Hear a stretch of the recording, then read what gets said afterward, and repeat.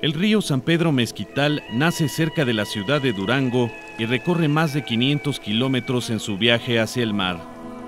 Su cuenca, es decir, el territorio cuyas aguas escurren para formar su corriente, atraviesa la Sierra Madre Occidental y desemboca en el Pacífico, creando uno de los humedales más ricos en biodiversidad del continente.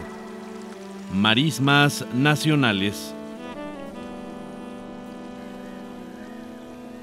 En la parte baja de la cuenca, los aportes de agua dulce y salada han formado el manglar más extenso del Pacífico mexicano, hoy en día en un frágil equilibrio. Desde los años 70 se han perdido unas 20.000 hectáreas de manglar.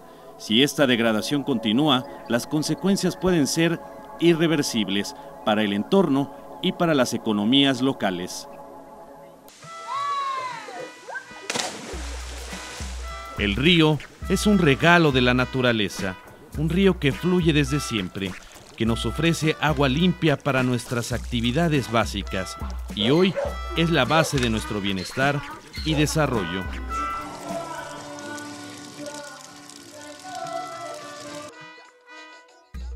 Pueblos y ciudades se sitúan en sus orillas y hasta las calles están hechas con sus piedras. También nuestra artesanía está ligada al río, así como nuestra cultura y tradiciones.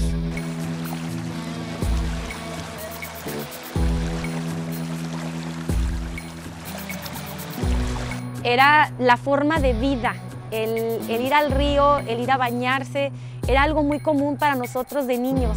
Ahora para ir al río vas a una zona muy retirada, que no tiene un acceso apropiado. Antes era muy fácil.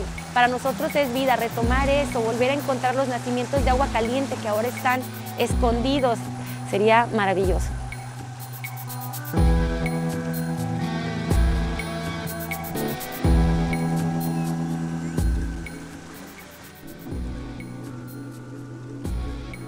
Estamos en la cuenca baja del San Pedro Mezquital, acompañando al río en su viaje desde las montañas hasta el mar. Vamos a descubrir su importancia en nuestras vidas. En Nayarit es donde el San Pedro es más caudaloso gracias a los arroyos que vienen de la sierra y a la gran cantidad de lluvia que cae en esta región. Este cerro se llama Musatena y es el centro ceremonial en el cual aquí acuden todos los coras y huicholes de toda la zona serrana. Y bueno, este, eh, se pudiera dar a conocer lo que es la cultura, dar a conocer lo que son las costumbres y tradiciones de los grupos indígenas y conocer un poco más de ellos.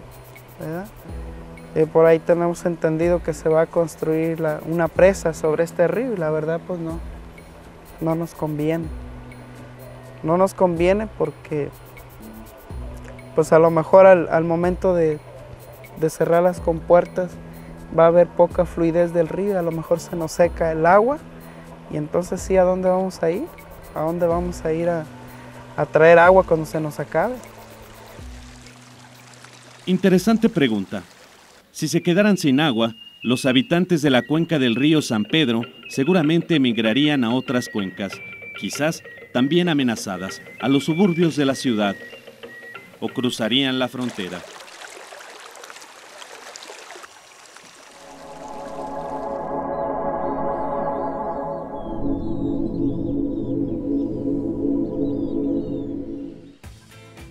Agua es fundamental en todas las actividades productivas.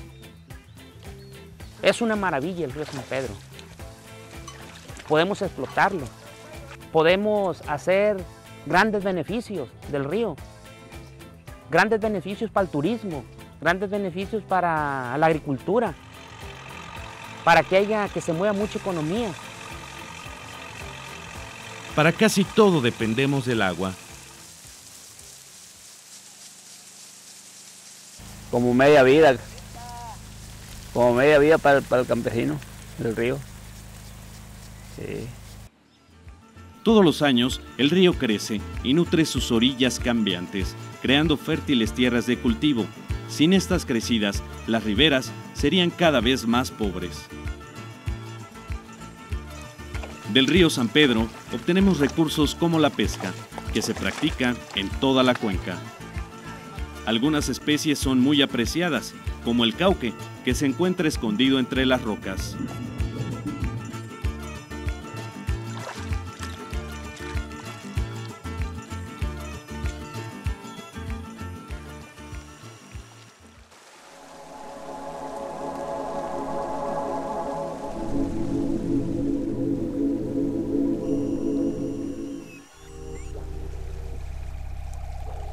En Ruiz, el canal de la margen derecha deriva tanta agua que a partir de aquí, en la época seca, el río casi no fluye hasta la llegada de las lluvias. Es el único río que llega hasta allá, hasta, hasta el mar. Y, y este, este, esta agua, pues ya la ocupamos para regar aquí, para, para estas tierras y para este lado, donde no hay agua.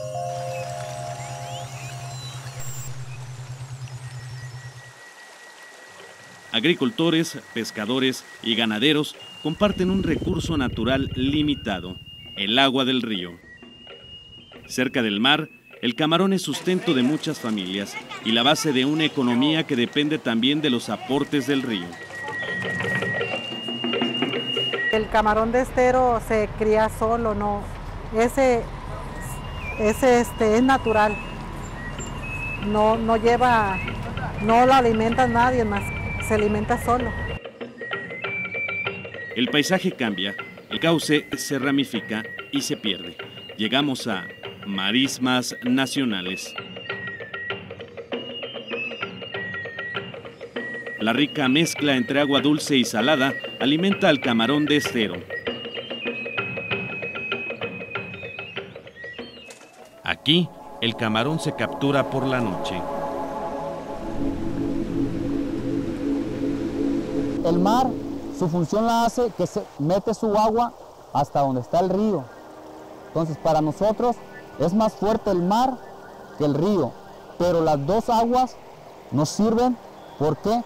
Porque eso le sirve al pescado para poderse desarrollar, poderse desarrollar y poder eh, incrementar sus especies que tenemos dentro de los esteros y lagunas. En el corazón de marismas nacionales, la isla de Mezcaltitán es famosa por su historia y sus tradiciones. Esta pequeña isla atrae visitantes de todo el mundo. La leyenda identifica la mítica Aztlán con Mezcaltitán. Se dice que de allí salieron los aztecas en su migración hacia México Tenochtitlan. En Boca de Camichín, donde el río se une al mar, la mezcla de agua dulce y salada también determina el ciclo de vida del ostión.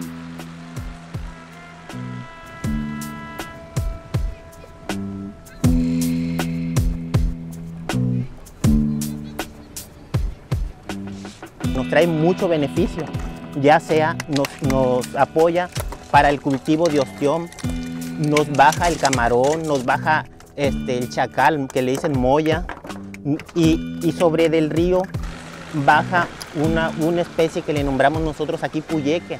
El puyeque baja cada año y se va hasta la boca del mar y hace que los pescados del mar entren al estero, entren al estero y nosotros podemos, podemos este, pescarlos, ¿verdad? Y es nuestro ciclo de vida de aquí mismo, de los lugareños.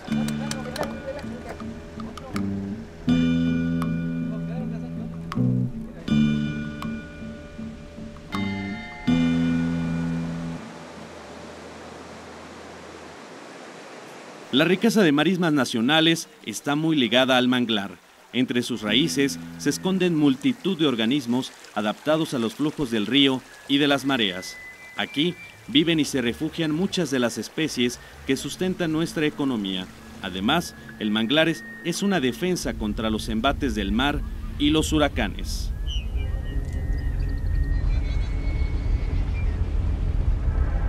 Pero no está libre de amenazas. El manglar depende del agua de la cuenca. Del río se extrae agua para regar, dejando su cauce casi seco en algunas épocas del año. También la contaminación provoca graves problemas. Ha tenido un gran impacto por cuestiones de eh, descargas de, granjas camaroneras, por un lado, descargas de aguas eh, residuales urbanas que eh, van descargando gran cantidad de materia orgánica directamente al río. Todo esto afecta finalmente a la salud del manglar, pues lo que ocurre aguas arriba repercute en la parte baja de la cuenca, donde además la apertura artificial de bocas al mar y otras infraestructuras han modificado gravemente el equilibrio hidrológico de la zona.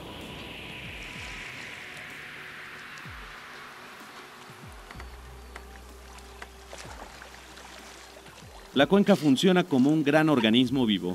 Al dañar una de sus partes, afectamos a la totalidad, incluyendo a sus habitantes.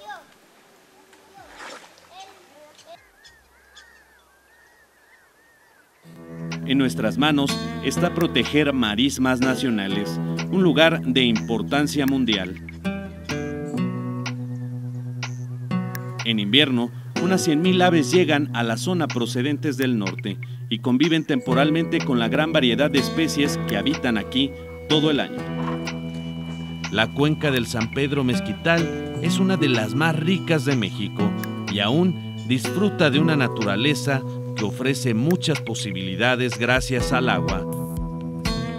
Al obtener el lugareño un beneficio económico que redunde en la comunidad, van ellos a tratar de proteger las aves. ¿Cómo? No permitiendo que las capturen para enjaularlas, no permitiendo que las envenenen y no permitiendo que sus familiares las maten para comérselas. El río está vivo porque fluye y de esta manera nos ofrece su agua. Si se la quitamos, desaparecerá y con él toda su riqueza.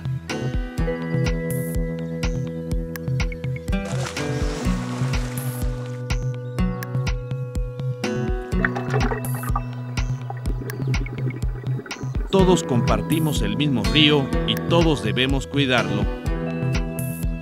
Desde las montañas hasta el mar los que vivimos en la cuenca del río San Pedro Mezquital estamos a tiempo de conservarla.